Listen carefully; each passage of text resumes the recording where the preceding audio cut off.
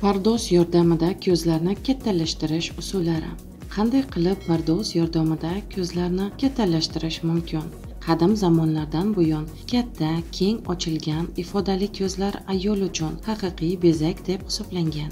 Agar tabiat bunday xazina bilan sizni taqdirlamagan bo'lsa yoki siz katta ko'zlar effektini kuchaytirmoqchi bo'lsangiz buni osonlikcha to'g'ri uyanish yordamida amalga oshirishingiz mumkin. Pardoz yordamida ko'zlarni kattalashtirish birinchi qadam yuzning terisini tayyorlang. Tonal kremni qo'llang va qoshlarga shakl bering. Qoshingizni ko'taring. Bu asosiy qoidadir. Qoshlaringizni shakllantirgandan so'ng qoshning pastki chizig'ini konsiler yoki och teri rangidagi tenlar bilan taqidlang. Bu usul qoshlarga aniqlik beradi va ko'zlarni biroz ochadi. Shuningdek qoshning uchini odatdagidan biroz yuqoriroq tortish ham ko'zni biroz kattalashtirishga yordam beradi. Qoshlaringizni bo'yab bo'lganingizdan so'ng qosh bukiladigan joyi ostiga biroz yoritg'ich haylayter surting.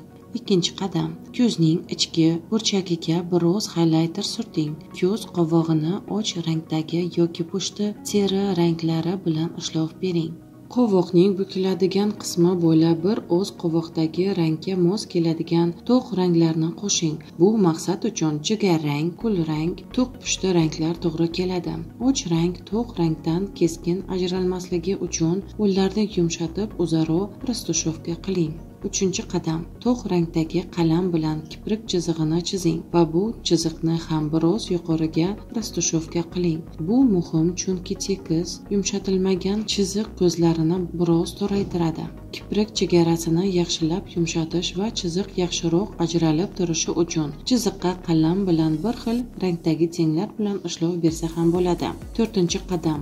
So'ngra kipriklarni tush bilan bo'yaymiz.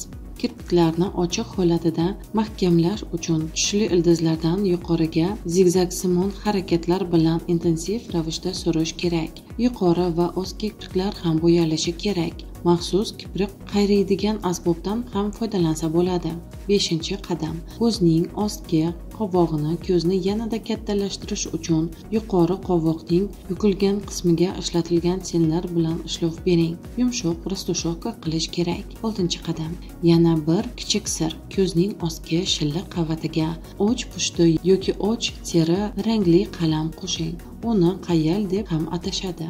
Qora qalam shilliq qavatga surtilsa ko'zlarni sezilarli darajada kichraytiradi shuning uchun qora qalamni faqat yorqin kechqurungi pardozlarga yoki sahnada boshqa ranglar bilan uyg'unlashtirilgan holda ishlatish kerak. Agar siz yorqinroq pardoz qilmoqchi bo'lsangiz klassik smoky eyes texnikasini qo'llashingiz mumkin.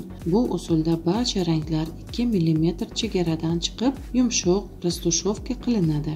Qora qayal va bazida soxta kipriklar qo'shiladi. Natijada ko'zlar nihoyatda katta ko'rinadi. Ko'rib turganingizdek barcha sirlar sodda va salonga bormasdan o'zingiz qo'llab ko'rishingiz mumkin. Sizga muvaffaqiyatli tajribalar tilaymiz.